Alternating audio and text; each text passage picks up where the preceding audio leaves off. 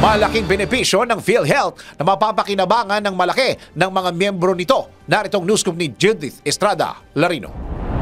Tiniyak ng PhilHealth na makikinabang sa malaking benepisyo ang mga miyembro ng ahensya. Sa panayam ng DWIZ, sinabi ni Ray Balenia, Acting Vice President ng Corporate Affairs Group ng PhilHealth, na isa ito sa kanilang mga programa para sa mga Pilipinong nangangailangan ng tulong medikal. Ang ating programa, ang atin pong talagang mission ay ah, kapag ka yung nao-hospital, yung ah, atin pong mga kababayan, Naku, ay oo. meron pong malaking benepisyo Mhm. na ibabawas po na bago tayo magbayad. At sa malimit na pagkakataon ay wala nang binabayaran yung marami nating mga miyembro Opo. dahil sa no balance billing. Mhm, So mhm. ito yung ating ah, mission Ayon sa PhilHealth Officer, ang nasabing programa ay nasa ilalim ng ipinagdiriwang ng ahensya na National Health Insurance Month ngayong Pebrero kasabay ng ikadalawamputsyam na anibersaryo ng PhilHealth. Tuwing ah, Pebrero ng kada taon, ito po ay ah, ipinagdiriwang natin yung National Health Insurance Program Month at ito po ay sa visa ng Proclamation 1400. So ibig lang sabihin nito, itong dapat buong buwan ng Pebrero, pinatataas natin yung kamalayan at kaalaman ng ating mga kababayan tungkol po sa halaga ng atin pong ah, health insurance no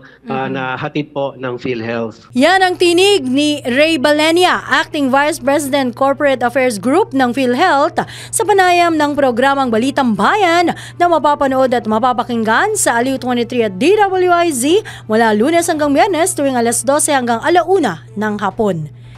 Yan ang aking news scoop. Ako, si Judith Estrada Larino, nagbabalita ng tama, naglilingkod ng tama.